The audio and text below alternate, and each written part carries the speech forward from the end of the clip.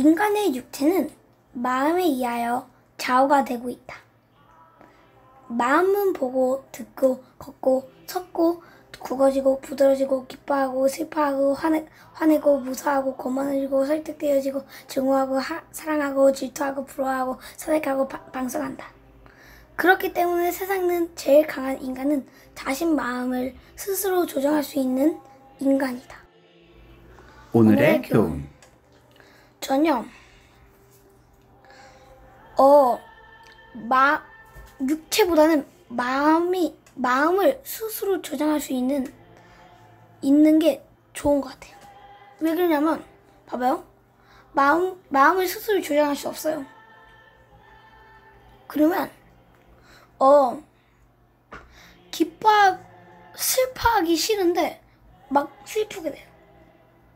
자기가 조정할 수 있어. 자, 자기가 마음을 조정할 수 없으면 그러면 슬프가 슬퍼하고 싫은데 슬퍼 슬퍼요.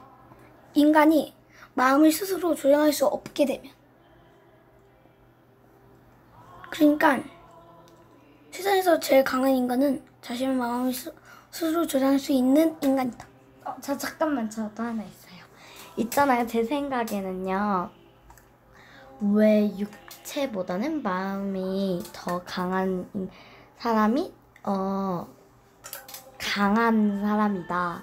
왜 그러냐면 음 이- 마음이 좋아야 육체의 행동도 좋아지고 마음이 살짝 이렇게 나쁘게 되면 육체의 그 행동도 나쁘게 되니까 그런 것 같아요.